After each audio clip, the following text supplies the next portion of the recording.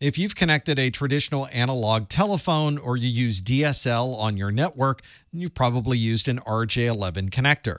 This is referred to as a six position two conductor connector because although there are two wires inside of this connector, there are actually six positions where other wires could be. And in fact, you might find an RJ11 connector that has some additional wires inside of it so that there may be six positions and four conductors.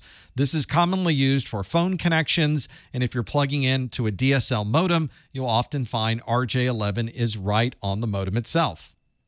If you're connecting the Ethernet, then you're probably using an RJ45 connector. This looks very similar to an RJ11 connector, but this is an 8 position, 8 conductor connection. You can see all 8 of these conductors are on the back of this RJ45 cable. This is commonly used for Ethernet, although you may find RJ45 used for other types of connections as well. Here's an example of an RJ11 and RJ45 connectors next to each other. This is on the back of a DSL modem. You can see the DSL connector is the smaller RJ11, and then the Ethernet LAN connectors are RJ45 connectors. If you have cable television, then you're probably familiar with the F connector. This connector is used on a coaxial cable and it has a threaded connection at the end to physically screw onto the connection so that it can't easily pull off of the device. You might also use an F connector if you subscribe to an internet connection from your cable company. This is usually brought in with a standard called DOCSIS, which is Data over Cable Service Interface Specification. Here's the view from the back of a cable modem. We have a male F connector connecting to the female side of the F connector. It screws onto this connection with these threads, and that keeps it in place so that it can't easily be removed from the cable modem.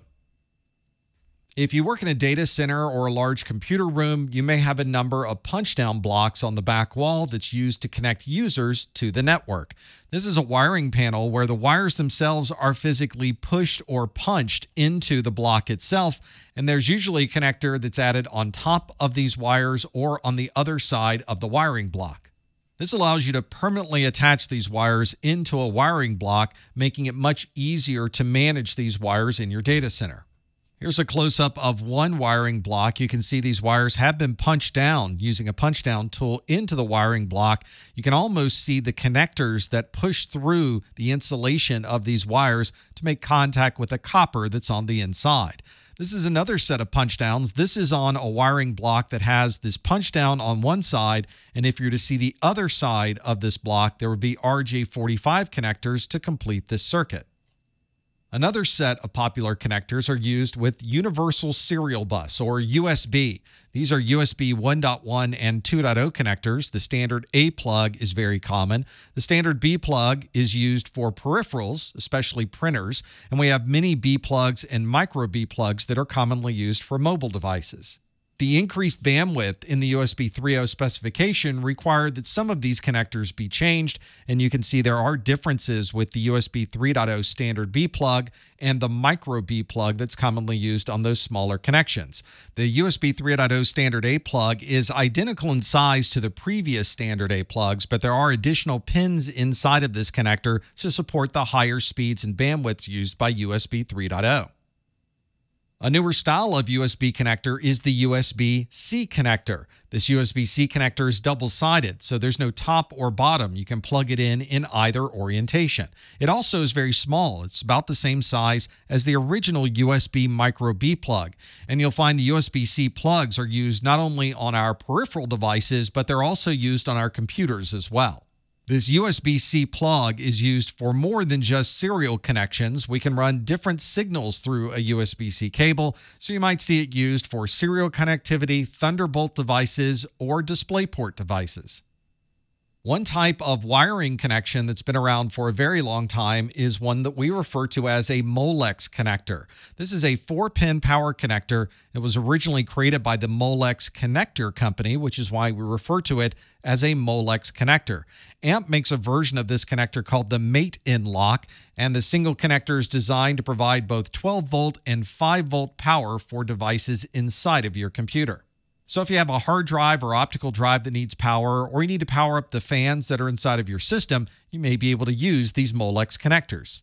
One way to tell if you have these Molex connectors available in your computer is to look on your power supply itself. There's probably a number of wires coming off of that power supply, and you're looking for the Molex connectors or these four pin power connectors that are already connected to that power supply. If you have an Apple device, you may be using a Lightning connector. This is an 8 pin connector that's used to transfer data and provide power for certain models of iPhones and iPads. This Lightning connector was introduced when micro USB was a common connector type for mobile devices. But Lightning allows us to have additional power output, especially for these larger phones and tablets.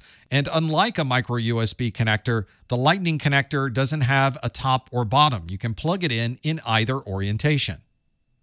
If you work a lot with infrastructure devices that have console connections, then you're probably still using a DB9 connector.